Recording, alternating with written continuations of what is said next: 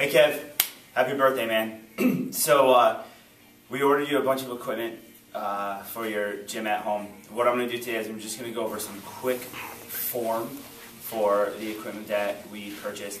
Um, hey Kev, we're going to go over birthday, a man. squat with the Dynamax so, uh, ball that you have at home. We ordered you a bunch uh, of equipment. We'll go over a sit-up that uh, you can do with your the Dynamax ball at home. What I'm going to go over is kettlebell swings, quick kettlebell squats and for push up the equipment that I'm also going to put together a series um, of workout. We're going to go over a proper squat with the so Dynamax ball that back to the. Uh, we'll go over the sit up that you can do. Um, if you have any questions, just shoot. We're going to go over kettlebell swings, email, kettlebell uh, squats. Uh, we can do another video for you. I'm also going to put together a series of workout more programs for you to do, so you can um, refer back to the whatever you need these okay, videos. All right, so first um, we're going to start with the squat with the Dynamax uh, phone call. So I know you know how to do squats. We've done squats and, uh, tons of uh, times before. We've worked out. You um, just but the Dynamax ball is a little bit different. Um, you want your hip flexor to go lower than your knee.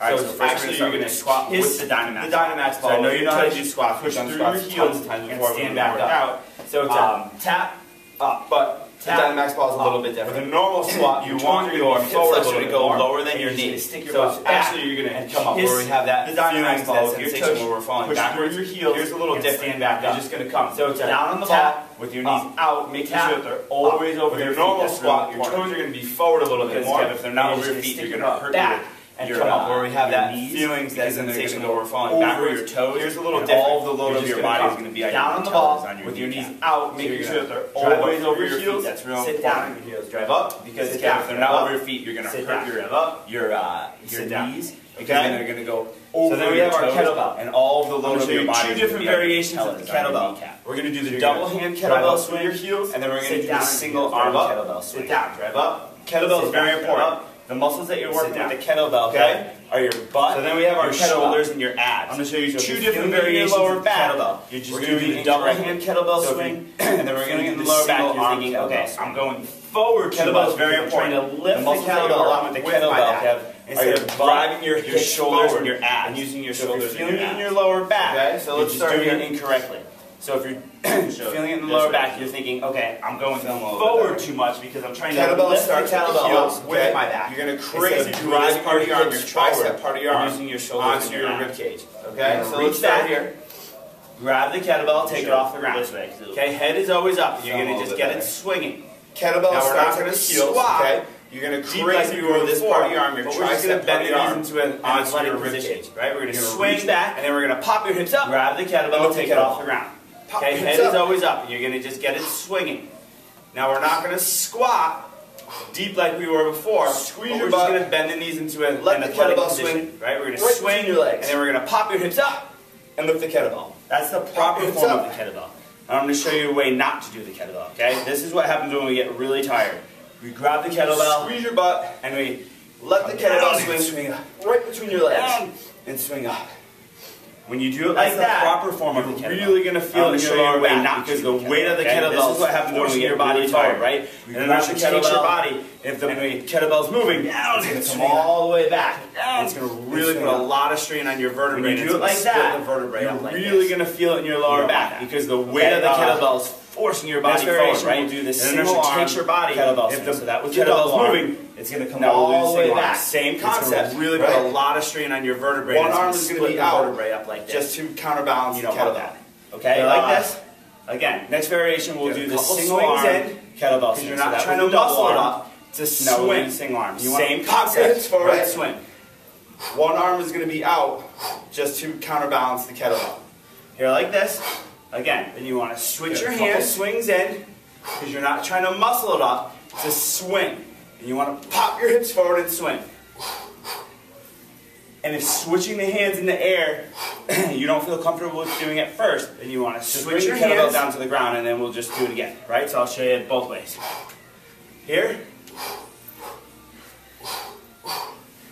And if switching the hands Remember, in the air, you, you don't feel comfortable with your hips first, pop your hips forward. Just bring the kettlebell down to the ground, bring and then the we'll just down. It, right, so I'll show you both Switch ways. hands. Here, up, couple swings, drive forward. Remember, squeeze your glutes as tight as you can, and your hips pop your hips forward. Bring the kettlebell down and rest. Switch hands. Again, we never up. ever want the kettlebell to come way down here so that our body's facing down. Because coming up, is where we hit that vertebrae. Okay? Kev, now I'm going to show you a squat on the Dynamax Again, ball. Never ever want the kettlebell to way down here so that our body's facing down. Because coming the same. You're going to hold the kettlebell by the horns okay? up here on the lower part of it, okay? Kev, now I'm going to show you sure a squat that the kettlebell on the Dynamax ball. to your body with the kettlebell. When it comes far away from your body, just like the kettlebell, same. It becomes harder with your body. Your body is going to lean up forward. here. The lower Once part the body starts okay? to lean forward. Make sure in front that the kettlebell stays close to your body. This should not hurt. When it comes far away from your body, just like Elbows the kettlebell swing, eyes are always if it comes up. far away from your body, your body is going to lean forward. Once Tap the body starts to lean forward, with the up. load in front, tap. Then it starts up. to hurt the back. Tap up. This what should not hurt the back at all. Kev is this. Elbows are down. Eyes are right. always up. Okay? You're going to squat. If you feel like your hamstrings, come back up. Your legs are a little too tight Tap. to get down all the way. Up. Stretch Tap. them out first with up. a simple hamstring. What we don't want touching your toes. Kev is this, right? Because the uh, right inflexibility of the leg. If you feel like your hamstring part of the thigh, and your legs um, are a little too tight to get down all the way, down low.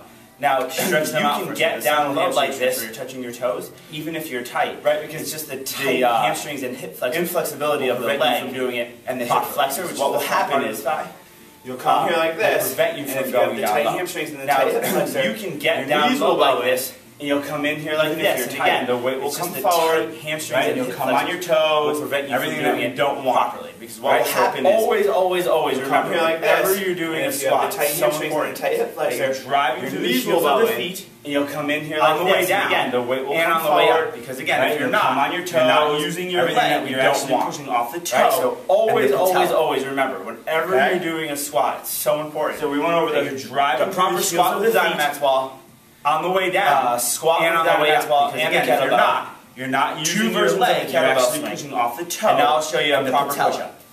And Kev. I know you know how to do proper push-ups, so we went over the, the but proper I just want go over everything with you again, okay?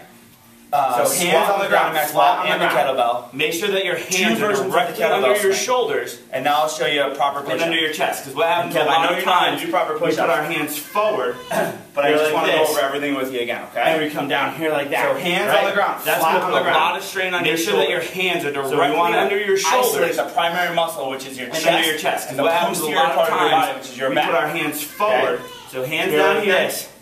Feet are together. Come down. Sometimes you're like that. Feet apart. Right. We're gonna put That's gonna put a lot right of strain on your shoulders. Squeeze your legs so we together as tight as you can the primary muscle, which you're is your chest, your chest and the posterior part of your body, Breathe. which is your back. And notice your body is still so straight. Hands down here. Hips aren't dipped. Feet are together. Right. Sometimes we put our feet apart, but we're gonna put our together. right now. body up. And squeeze your legs together as tight as you possibly can. Down again.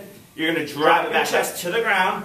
What you breathe. don't want to do notice your body's dip. still straight. You don't your want hips aren't dipped. Worm it down. Right? So we're gonna come down. Worm it back and then we're gonna drive your body up. If you're it's having trouble with that, position. just drop to your knees. Down again. Do one. Drive it back up. Two. So you feel it. You don't right? want to do. And then get back up here. You don't want to go down as low as you worm can. Worm it down. But never ever and worm go on your up. knees to do the entire okay? exercise. If you're having trouble with that, make sure drop to your knees flat so you get that. feeling. Two, so you feel it in that floor. Right and then get yeah. back up here, and then go down as low as you can. Feet but never ever thighs. Go on your knees to do the entire exercise. Okay, all you're only going on your knees to make sure that the back Sometimes, Kev, we do this. Feeling. Right, and we don't want to do that. Back, so come in that all the way up so to again. full flexion of that chest muscle for you. Okay, feet back, thighs tight, drop down, all the way up. Lock your arms all the way up. Sometimes, Kev, we do this. Right, we don't want to do that. Want to come all the way up so full flexion of that chest muscle. Uh, variety of different exercises there. And what I'm going to do is I'm going to put together a handful of programs, written out programs, so that you can bring to downstairs to the gym with you and look them over. Perfect. And just so kind of use this of, as a variety of different exercises there for form. And what I'm going to do is I'm going to put together a handful of programs you written out here, programs, and so, so you can bring to check out the form downstairs to the Cam, gym. Again, Kevin, if you need anything else. Over, just kind of email and my cell phone number. A guiding give me a call for form. and we'll uh, because some of the things are. All right, bud. Happy birthday. Is this? And uh, Hope you come back well here and baby. you just check out Julie I said hi. Thanks. again, Kev, if you need anything else, I'll give you my email and my cell phone number, and you just give me a call, and we'll uh, and we'll create more for you. All right, bud. Happy birthday, And I hope you're doing well we forgot to sit up. Tell Julie I said hi. Thanks. We're gonna start here.